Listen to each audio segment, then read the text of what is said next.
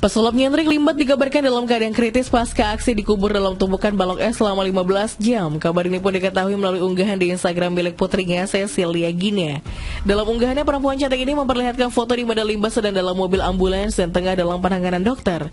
Dalam fotonya Cecil pun menuliskan kondisi dan harapan supaya kondisi ayahnya bisa membaik.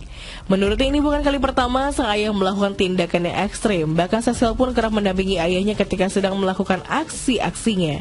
Rasa khawatir pun muncul dalam cerita captionnya karena Cecil terlihat sangat takut melihat kondisi Limbat yang sempat kritis. Cecil pun langsung berdoa agar sang ayah dalam kondisi baik-baik saja dan bisa cepat pulih.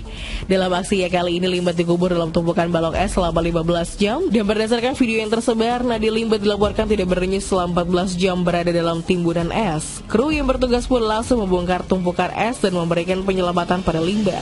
Dan kabar terbaru menyebutkan kondisi Limbat sudah membaik dan sudah tidak lagi mendapatkan perawatan medis dan kondisinya pun sudah stabil.